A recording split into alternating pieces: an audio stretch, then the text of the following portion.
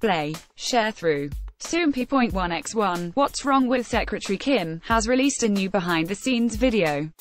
See also, Go Shae-won and Lee Soo-kyun to cameo on What's Wrong with Secretary Kim to tell story of Park Seo-joon's childhood. The clip begins with Park Seo-joon and Park Min-young filming a scene eating pork rinds together.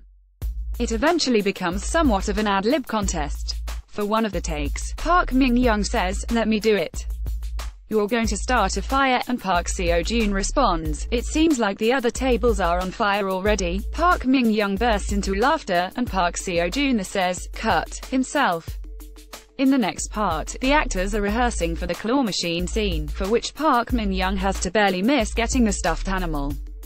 However, she successfully gets it and can't hide her excitement at the discovery of her hidden talent. The last part shows the unique kiss scene between their characters Lee Young-jun and Kim Mi-so.